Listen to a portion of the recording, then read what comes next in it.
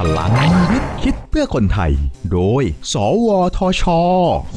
ตอนไขปริศนาผ้าย้อมครามไม่ติดสี คนสมัยก่อนเชื่อว่าการย้อมผ้าครามติดสีดีนั้น ต้องมีพูดผีปีศาจมาช่วย บ้านที่ย้อมได้ดีก็เพราะคนในบ้านเป็นผีปอบ แต่นักวิจัยไทยใช้วิทยาศาสตร์มาไขปริศนาได้แล้วครับว่า การย้อมผ้าครามติดหรือไม่ติดสีนั้น ขึ้นอยู่กับความเป็นกรดด่าง และปัจจัยที่เหมาะสมของน้ำย้อมครับ ปกติการย้อมผ้าครามต้องเตรียมน้ำย้อม ซึ่งมีส่วนผสมของน้ำใบครามสด เนื้อคราม น้ำขี้เถ้า และมะขามเปียก ได้เป็นน้ำย้อมสีน้ำเงิน มีความเป็นด่างสูงประมาณ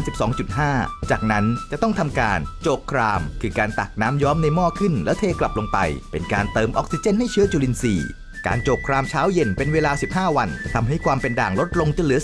10.5 ซึ่งเป็นช่วงที่น้ำย้อมเปลี่ยนเป็นสีเหลืองเข้ม ย้อมผ้าติดสีดี เมื่อทำการย้อม ผ้าฝ้ายจะกินสีเหลืองไปส่วนหนึ่ง จึงต้องเติมเนื้อกรามและน้ำขี้เถ้าเพิ่มลงไปในหม้อ ซึ่งถ้ามากเกินไปความเป็นด่างสูงกว่า 10.5 จุลินทรีย์ทำงานได้ไม่ดี หรือหากไม่โจก จุลินทรีย์ขาดอากาศหายใจก็จะตาย น้ำย้อมไม่เปลี่ยนเป็นสีเหลืองทำให้ย้อมครามไม่ติดสีนั่นเอง วิจัยและพัฒนาโดย สวทช และคณะวิทยาศาสตร์และเทคโนโลยี มหาวิทยาลัยราชภัฏสกลนคร พัฒนาคนด้วยวิทยาศาสตร์ พัฒนาชาติด้วยเทคโนโลยี สอบถามรายละเอียดเพิ่มเติมได้ที่ สวทช 02 564 8000